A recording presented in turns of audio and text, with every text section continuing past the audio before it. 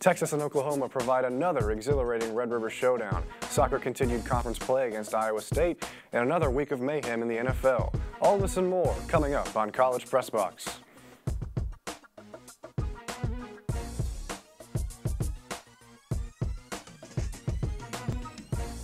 Good evening and welcome to College Press Box. I'm Tommy Yarrish alongside Jason Kinander, and we've got another great show coming your way. Let's start off at the Cotton Bowl in Dallas, where Texas and Oklahoma faced off for the 117th Red River Showdown. Here we go, taking a look at highlights from last Saturday. We'll start off in the first quarter. The first play of the game, actually, Casey Thompson connects with the freshman Xavier Worthy, and he takes off 75 yards on the opening play of the opening drive for a touchdown. 7-0 Texas lead early. They're going to keep that momentum going. Who else? The Heisman runner, Bijan Robinson, two-yard touchdown, makes it 14-0 Texas. But we know the Oklahoma offense is high-powered, and starting quarterback Spencer Rattler dives in on the next possession, making it 14-7 Texas. Second quarter, Rattler goes to the bench, and in comes the true freshman Caleb Williams, a 66-yard touchdown run. That makes it 28 to 14 to Texas Sooners, showing some life. But Spencer Rattler comes back into the game and fumbles it. Texas falls on it, 28 to 17, in midway through the second quarter, still in the second. Bijan Robinson once again, and just take a look at him work. A big stiff arm there from Robinson, and he goes for 50 yards down to the two-yard line on the very next play on the same drive. Casey Thompson over the middle. That's Jared Wiley coming down with the touchdown. That makes it 35 to 17 Texas. Fourth quarter, though, whole different story. OU down by a possession, a deep ball, and what a grab by Marvin Mims, an unhuman-like catch. That ties it up at 41 after Spencer Rattler comes in for the two-point conversion, and then Oklahoma takes their first lead of the game after trailing by 21 thanks to a Kennedy Brooks touchdown from 18 yards out. But Casey Thompson and company aren't done yet. Xavier Worthy with another big touchdown late in the fourth quarter, tied up at 48. And then in the dying seconds, Kennedy Brooks from 33 yards out says that's game. Oklahoma wins it 55 to 48 in a heartbreaking loss for the Longhorns. Let's take a look at the stat sheet. Casey Thompson 20 for 34 with 388 yards and five touchdowns. Five touchdowns tied for the most throwing touchdowns from a quarterback in Red River history. And some of those touchdowns went to Xavier Worthy. You saw 261 yards from him and two touchdowns. And then Bijan Robinson, another big day for the Heisman candidate, 137 yards on 20 carries, despite a quiet second half and a touchdown as well. For Oklahoma, the true freshman Caleb Williams had a very nice showing coming in in the second half, 212 yards for two touchdowns. Kennedy Brooks led the charge on the ground, 25 carries for 217 yards and a pair of touchdowns as well. And then Marvin Mims, the spectacular wide receiver you saw his catch earlier in that reel, five receptions for 136 yards and two touchdowns. Texas goes on to take on number 12 Oklahoma State at home this Saturday, and Oklahoma takes on TCU back at home this Saturday as well. For more on Saturday's unforgettable game, we go to our very own Clark Dalton. It was a great game, but the wrong ending for the Texas Longhorns on Saturday. One hurts that's what sports about. You know, when you, when you play a, a tight game and a rivalry game, uh, it hurts. After storming out of the gates with the 28 7 lead, past problems plagued the Longhorns. This included only giving Bijan Robinson the ball nine times in the second half and failing to change a three man rush. Caleb Williams and Kennedy Brooks transformed Oklahoma from a stagnant offense to the old team that dominated the Big 12 with Kyler Murray and Baker Mayfield. I'm proud of everybody on this team, man. You know, like I said, we played hard to the very last drive, and that's all you can ask for. You know, we came up short. Um, I mean, just improve on the things we need to improve on. It feels like the same story over and over again, but in some ways, it wasn't. Where past Texas teams folded, this one gave it their all to the bitter end. A 261 yard performance from freshman Xavier Worthy is all the proof you need. That makes losses like this sting even more because one team deserved to win. However, the cusp of greatness slipped through their fingers. No way I was going to let anything take me out of this game um, until they carted me off. So I was going to continue to battle. Even old Sooner greats admired the hearts of the Burnt Orange because they know something special burns inside this team, and one day it's going to escape. That's why Bijan vows to pick up his sword and ride into battle one more time. We, we're not a team to back down. Um, we understand that we still got a whole season left. Uh, and, you know, we got to capitalize on every game that we play. And, you know, Lord willing, you know, we do see them at the end of the season. You see, right now in the world of college football, Texas is on one mission. They're a battering ram trying to break a wall of water, a water that's a crimson sea. Now, it didn't break down today, but that wall began to show its cracks.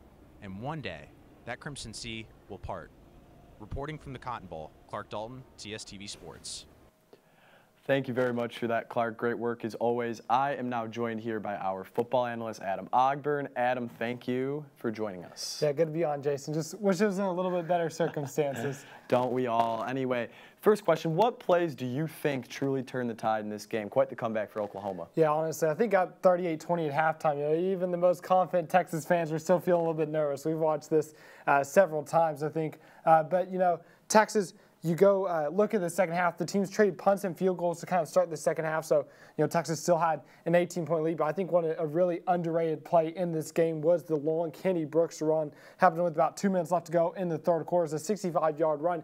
You can see he's heading down the field. D'Shawn Jamison looks like he strips it out, and it's going to be recovered by BJ, BJ Foster. When the officials go back to it, they ruled his knee down. Oklahoma goes on to score on the next play, a 14 yard touchdown pass to Marvin Mims. Mims was a thorn on the side. He had that 52 yard touchdown pass. Caleb Williams uh, getting free, and then Mims really just somehow getting away uh, from uh, Darian Dunn to come down with the improbable catch, toe tapping along the sideline.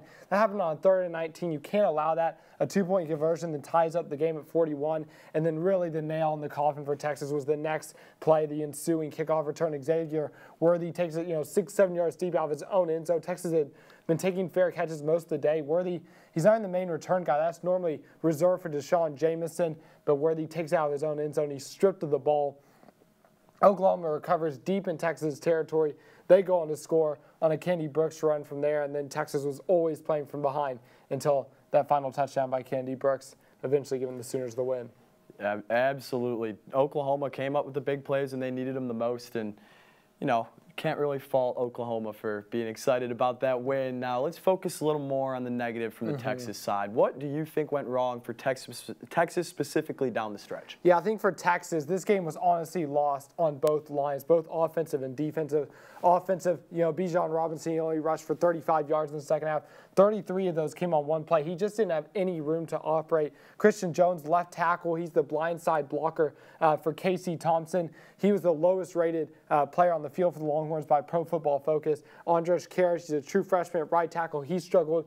Jake Majors, the center, had a couple of snap infractions, false starts. So overall, the offensive line struggled, uh, and that really shut down uh, the Texas running game. And then the passing game, Casey Thompson under a lot of pressure. He was sacked uh, in the second half, and then just a couple of incompletions coming from that pressure. I think if you look now across to the defensive line, Caleb Williams from Oklahoma had all day. You go to that 52 yard touchdown catch by Marvin Mims, and Williams had five or six seconds to kind of stay, uh, stay in the pocket and then eventually step up before throwing that pass. He wasn't sacked in the second half, so Texas really needed to get pressure on Williams. They didn't do that. They allowed the true freshman to settle in, and he absolutely took them apart. And then you go on uh, to the you know secondary level, and missed tackling was an issue too. Kenny Brooks, 217 rushing yards, 177 of those came after contact. Missed tackles played a large role in this game. You go back to the first half, Caleb Williams' first snap on that faithful fourth and one at their own 34. Jerrin Thompson has a chance to tackle him behind the line of scrimmage. He can't do it. Williams slips three, and the rest of history. And in the secondary, you look to some 50-50 balls that you thought Texas could have maybe dealt with a little bit better. There was a minute into the fourth quarter, Caleb Williams kind of lobbed a pass off his back foot towards Mims. Uh, BJ Foster was on the coverage, but Mims was able to kind of wrestle Foster off him and come down with the catch. It was a really floated pass. You would expect maybe Foster to do a little bit better there, and then just that freak touchdown late on uh, by Marvin Mims, where he's able to just kind of fend off Darian Dunn and somehow get a foot in for the score. So you look, you know, secondary tackling was an issue, but I think really this game was lost on both lines for the Longhorns. And a heartbreaking loss in that, but still six games to go. Mm -hmm. The Big 12 championship race is wide open. So, what can Texas take away from this game? Where will they go from here with a big matchup against undefeated Oklahoma State at home next week? Yeah, for sure. I think it's important to remember Texas still controls their own destiny after this game. You know, Oklahoma is first. If the Longhorns win out, they'll be at least one of the top two teams in the Big 12. So, they're very still much in control of whether they can reach Arlington in December. Xavier Worthy had a big game in this one, nine catches for 261 yards, two touchdowns, and those two touchdowns were huge. You can see this first one here, very first play from scrimmage, breaking free down the sideline, a 75-yard touchdown, a screen pass, and then obviously he had the late touchdown too, which ended up tying the game before that fateful Oklahoma drive. So Casey Thompson, too, another big game from him, 388 yards passing, five touchdowns. That was big. So he looked a little bit shaky against TCU. I think some of that was the pressure again. Um, the offensive line struggling to hold up blocks for him, but this was a big performance from him. His dad went to Oklahoma, so this was a statement game showing that he is the man to lead Texas forward. I think Bijan Robinson in the run game will be okay. He just had nowhere to go in the second half, but when he got into space, he looked explosive. So Texas just needs to continue creating running lanes for him to go. But you know, these next three games, this is really going to determine whether Texas gets to Arlington or not. As you mentioned, you got undefeated Oklahoma State coming to town next week. Then you got a game against a very interesting Baylor side. They've been a lot better than I thought they were. Gerry Bohanon had a big game uh, last week, 336 yards and four touchdowns this past Saturday as they blew apart West Virginia 45-20 and a tough trip up to Ames. I know the Cyclones haven't been as good as we maybe expected this year, but Breece Hall and Brock Purdy, you can never count them out. So three big games. The Texas can get those problems solved. and They can create room for Bijan Robinson to run, and then get pressure on Sanders, Bohanon, and Purdy, the three upcoming quarterbacks. I think the Longhorns will put themselves in a good spot to maybe be facing these Sooners again in Arlington in December.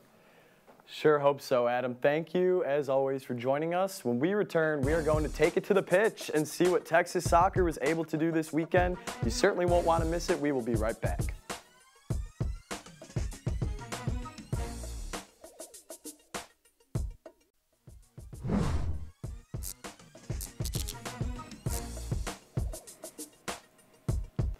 Welcome back into College Press Box. On Friday, Texas soccer faced off against Iowa State, looking to protect their unbeaten record in Big 12 conference play. Let's take a look at how the Longhorns were able to fare against the Cyclones. Early on in the first half, Iowa State, or Texas make that with the scoring opportunity with big save by Iowa State. Iowa State then on the way back a couple minutes later, huge save there by Texas. Late in the first half, Lexi Missimo and the Longhorns looking to get on the board for the first time all game. Misomo would cash in with her eighth goal on the young season, making it 1 to 0. Start of the second half, Texas looking for a little insurance, and they would get that as well with the goal to make it 2 to nothing. That's how the score would finish. Texas staying unbeaten in conference play. Well, thank you for that, Jason. And now we're going to talk to our special guest, Chloe. Chloe, let's talk a little bit about some Longhorn soccer. The Longhorns have been hot all year long collectively. Who would you say individually has been most impressive for this squad so far? Personally, I have to say freshman freshman forward Trinity Byers. She's leading the team with goals and this season in second in assists, having a game-winning goal against Samford and assisting also the game-winning goal against Oklahoma.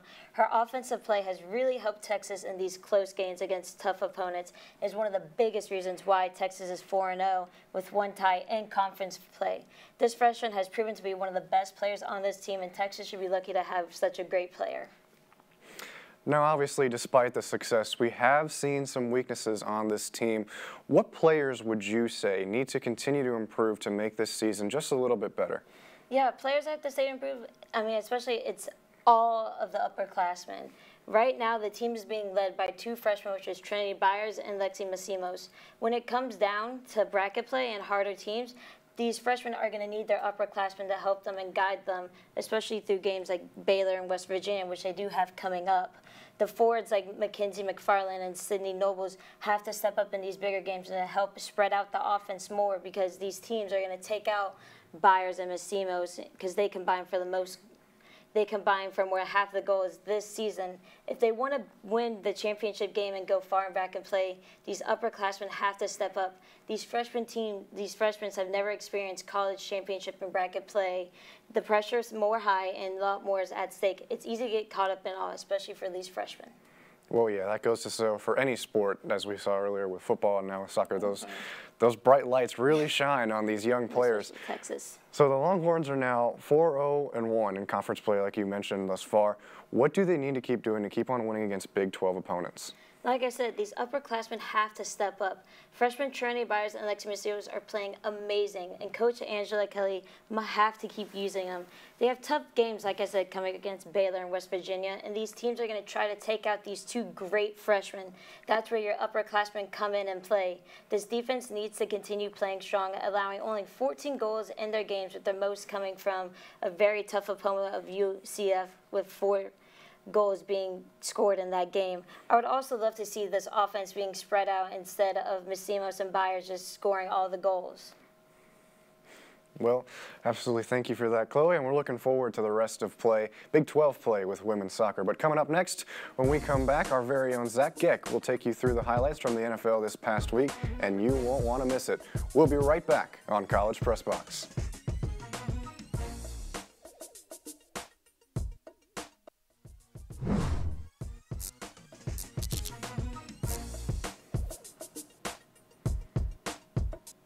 Welcome back to College Press Box now. We're going to pass it over to Zach Gueck, who's got the best from a loaded NFL slate this past Sunday. Zach, take it away. Thank you, Tommy. Well, the NFL had many crazy games this weekend, and they all finished in crazy ways. First off, let's take it to L.A.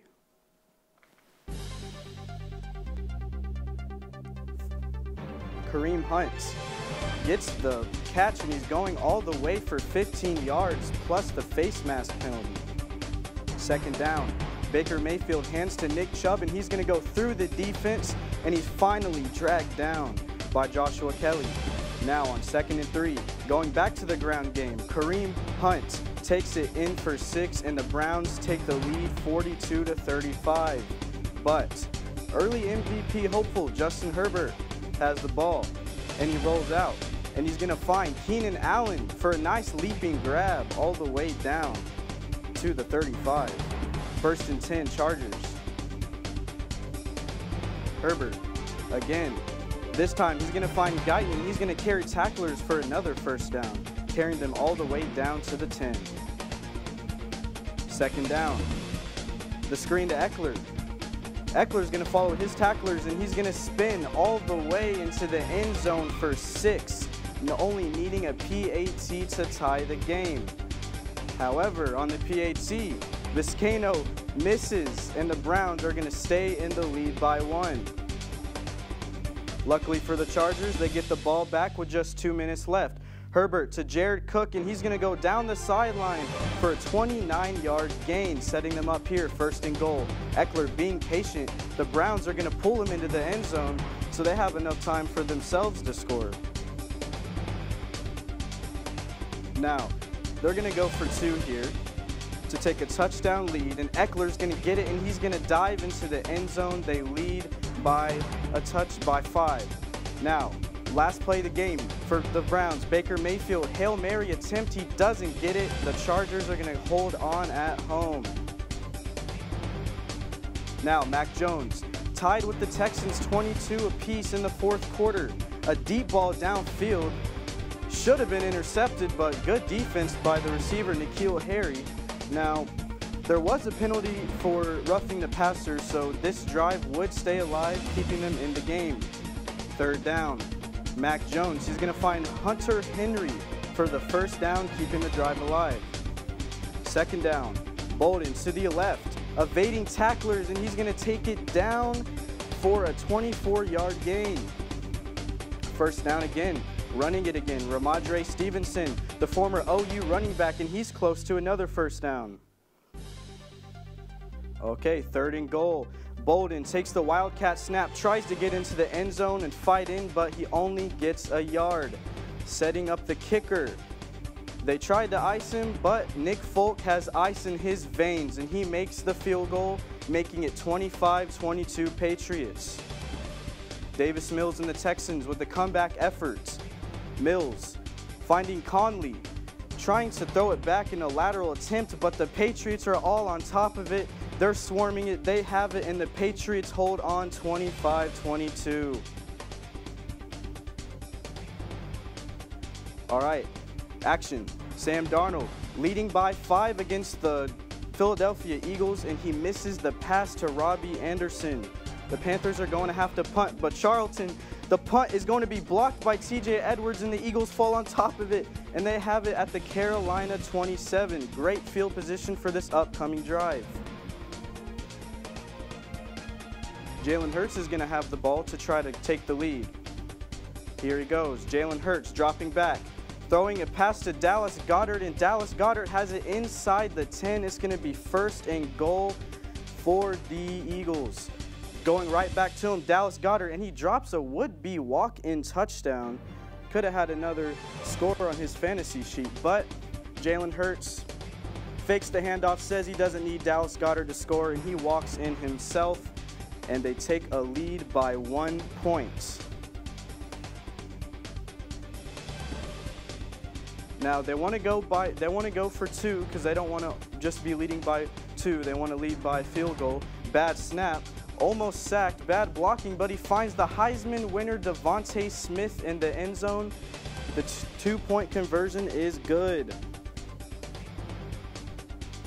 Now, Sam Darnold trying to come back, and Steven Nelson picks that off on the sideline. His third interception of the game for Sam Darnold and the Eagles are going to hold on on the road 21-18 for the win. Now, in Minnesota, third down, trying to run out the clock and is fumbled and Reese Maben has it and he falls on it at the Minnesota 21 yard line to set up excellent field position for the potential game winning drive for the Lions.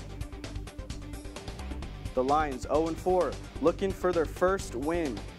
Second down, empty backfield. Jared Goff fires to Amon-Ra St. Brown for the first down. Setting them up here, first and goal. Needing a touchdown. Handing the ball off to D'Andre Swift, and he goes in for six. The Lions down by one. They don't want to go for the tie. They want to go for the win. They're 0-5, everybody. So Jared Goff takes it in his own hands, throwing to the back of the end zone, finding Hodge, and the Lions actually might win a game this year. But unfortunately for Lions fans, Kirk Cousins has the ball with 30 seconds left. Kirk Cousins, he's going to drop back. He's going to fire a bomb down the field to Thielen. Only had two catches on the night, but both of them on this drive and both of them very clutch. Next throw, Kirk Cousins right to Thielen, right near the field goal line, and they're going to have to run up to the line to clock the ball down for a 54-yard attempt. Greg Joseph, It was right down the middle, and the Vikings win the game 19 to 17. Now in Cincinnati, Joe Burrow handing the ball off, and they don't get the first down. It's going to be fourth and short, setting the rookie kicker Evan McPherson up for a 57-yard field goal. The kick looks good, but it's off the right upright and it's no good. The game stays tied and Aaron Rodgers takes over. Aaron Rodgers takes the snap, dropping back. Throwing down the field and finding Davante Adams. That's that man inside the 35. That's going to set them up for a attempt from their kicker, Mason Crosby, to potentially take the lead. Running up, clocking the ball with just three seconds left. No time for any other plays other than the kick in regulation. Here he is, 51 yards. Can he do it? Can he win the game? No, he cannot. It's another missed field goal. We are headed to overtime. Free football, everybody. First play of overtime. Joe Burrow takes the snap, throwing it up the middle, right into the linebacker's hand, and Campbell is going to return it for 13 yards, setting up the Packers pretty nicely.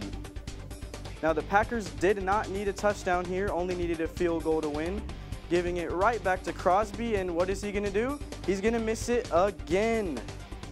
It's a tough time for the kickers on Sunday. Now, the ball goes back to Burrow with another chance. Third down. Throwing down the sideline, and was that a catch? At first, they ruled it a no catch, but upon review, they overturned the call on the field. You see, he gets one toe in here, drags the other foot down, and that is going to be a completion from the LSU, former LSU quarterback to the former LSU receiver in Cincinnati. Ja'Marr Chase, still tied at 22 apiece. Third down, Joe Mixon. Joe Mixon gets close to the first down, but just doesn't quite get there. Can the kicker be the hero today? Evan McPherson, his kick is no good. It's off the flag. He thought he made it. He was celebrating early until he found out that, in fact, he did not make the field goal. Third down, Aaron Rodgers gonna drop back. He's gonna look and he's gonna find Randall Cobb, the former receiver, comes back and he has it right near the first down marker. All right, will the kicker win the game today? Will a kicker make a kick today? He's missed two already and he finally makes the kick. The Packers win against the Bengals 25 to 22. All right, thank you, everybody. That's going to be it for this week's segment of Unhooked. Back to you guys, Tommy. Thank you very much for joining us, Zach. When we return, we will take a look at Friday night's high school football game between Westlake and Bowie. You will not want to miss it. We'll be right back.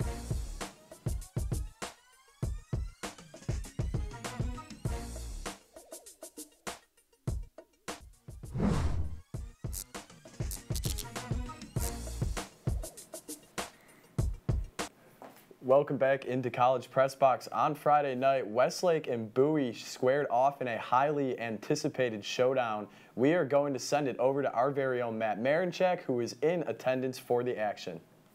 The Bowie Bulldogs took on the Westlake Chaparrals on Friday night in a rivalry matchup of the 5-0 teams. Westlake is coming off back-to-back state championships and is looking to go for the three-peat later this year. Much of their success can be credited to the play of their five-star quarterback, Cade Klubnik.